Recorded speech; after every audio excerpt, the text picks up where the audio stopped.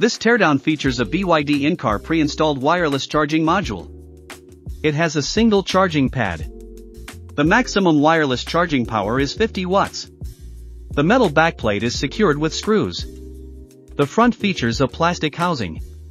The power connection terminal is located at the top of the back cover. The cooling fan is located at the bottom. A close-up of the fastening screws. The length of the module is about 132.8 millimeters, 5.23 inches. The width is about 71.9 millimeters, 2.83 inches. The thickness is about 35 millimeters, 1.38 inches. That's how big it is in the hand. The weight is about 224 grams, 7.9 ounces. Next, let's take it apart to see its internal components and structure. Remove the screws and the back cover. The fan is connected via a connector. The fan is from McFan, model YBH5515C05, with a specification of 5 volts 0.45 amps. Inside the metal casing, there are thermal pads. The PCBA module is secured inside the casing with screws. The charging coil is connected via soldering, with smooth and full solder joints. Remove the PCBA module and the wireless charging coil. The charging coil is fixed on the metal shielding. The coil is wound with enamel-coated wire, and the bottom is equipped with a magnetic insulation sheet. The leads are insulated with heat shrink tubing. The front of the PCBA module features a power input socket, filter inductors, filter capacitors, a synchronous buck-boost controller, synchronous buck-boost MOSFETs, alloy inductors, a wireless charging master control chip, a wireless charging power stage chip, and the main control MCU.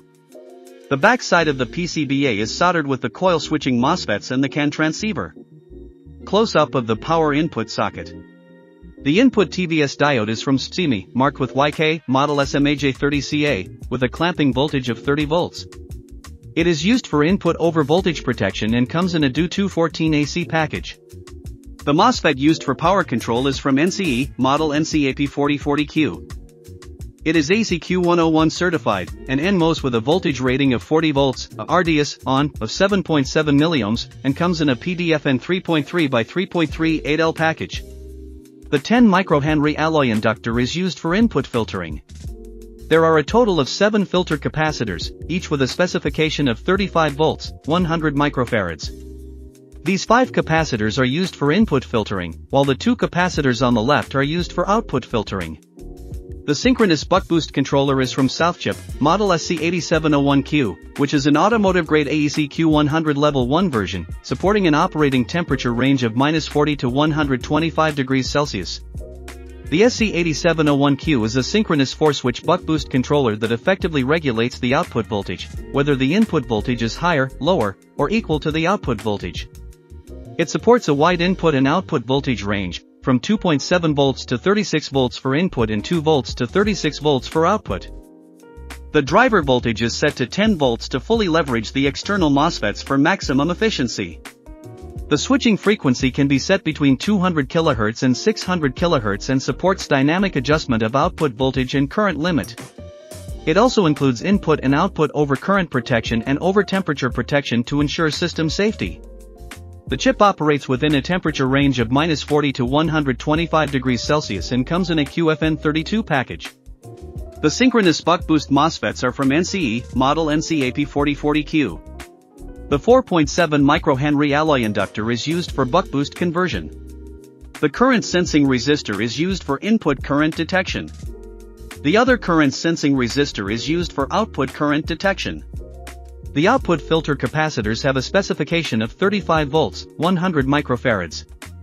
The four MLCC filter capacitors are connected in parallel. The wireless charging master control chip is from CPS, model CPSQ8100.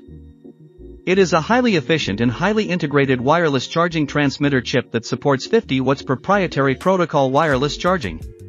The chip integrates a 32-bit MCU core, full bridge driver circuits, Q-factor detection circuitry, and modulation-demodulation circuitry, minimizing the need for external components. The internal memory supports read-slash-write protection and features I2C and UART communication interfaces. It includes three half-bridge drivers, which can be configured for synchronous buck or synchronous boost operation. Additionally, the chip provides hardware over voltage slash under voltage protection, over current protection, and over temperature protection. It meets AEC Q100 Grade 2 certification and comes in a QFN48 package. The wireless charging power stage chip is from NuVolta, model NU8060QH. It is a highly integrated, high-efficiency, and high-precision wireless charging transmitter chip that meets AEC Q100 Grade 1 standards. The chip supports a wide input voltage range, with a recommended maximum operating voltage of 27 volts and a transient voltage tolerance of up to 36 volts. A single chip can support up to 80 watts wireless charging for the RX load, enabling high-power wireless fast charging. The NU8060QH integrates a 12 milliohm low-resistance full bridge and, compared to existing products on the market, offers exceptional thermal performance. It also integrates many essential features for wireless charging applications, such as full bridge drive, 5 volts LDO, high-precision current sensing, Q-factor detection, and internal communication demodulation functions. The chip comes in a QFN21 package. The chip's power supply input is filtered using MLCC capacitors. Two 1 microhenry alloy inductors are used for output filtering. There are resonant capacitors placed between the inductors. The MOSFET used for switching the resonant capacitor is from NCE, model NCA6025Q. It is AEC-Q101 certified, and NMOS with a voltage rating of 60 volts, RDS, on, of 12 milliohms, and comes in a PDFN 3.3 by 3.3 8L package. Close-up of the two NPO resonant capacitors. The MOSFET used for wireless charging coil switching is from NCE, model NCAP15ND10AG. It is AEC-Q101 certified, a dual NMOS with a voltage rating of 100 volts, a RDS, on, of 12.5 milliohms, and comes in a PDFN5 by 6 8L package. The other MOSFET for coil switching has the same model. The synchronous buck chip is from Diodes, marked with TG, model AP64060. It is a synchronous buck converter with an input voltage range of 4.5 volts to 40 volts. The chip integrates the MOSFETs and supports an output current of up to 600 mA, with a switching frequency of 2 MHz. It comes in a TSOT26 package. The 10 microhenry inductor is used in conjunction with the buck converter. The regulator chip is from TI, marked with VCIQ, model TLV73333P. It supports an input voltage range of 1.4 volts to 5.5 volts, with an output current of 300 mA and an output voltage of 3.3 volts. The chip features power supply rejection, PSRR, and comes in an SOT23 package. The MCU is from ChipON, model KF32A146KQT. It is an automotive-grade 32-bit MCU, featuring a high-performance CUNQ32 core with a clock speed of up to 72 MHz.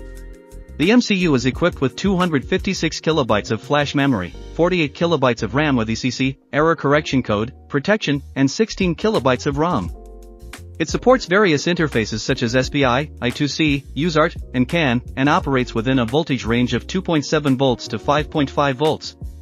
The chip comes in an LQFP64 package. Close-up of the 16 MHz clock crystal oscillator. The CAN transceiver is from SIT, model SIT1043Q. It is AEC-Q100 certified and compatible with ISO 11989-2-2016 and SAE J2284-1 to SAE J2284-5 standards. The transceiver features low standby power consumption and a standby mode, with support for both remote and local wake-up functions. It supports a voltage tolerance of plus or minus 58 volts and is suitable for MCU applications with a 3.3 volts or 5 volts power supply. The chip comes in an SOP14 package. Close-up of the cooling fan connector. The fan power supply is equipped with a resettable fuse. Well, those are all components of the BYD 50 watts in-car pre-installed wireless charging module.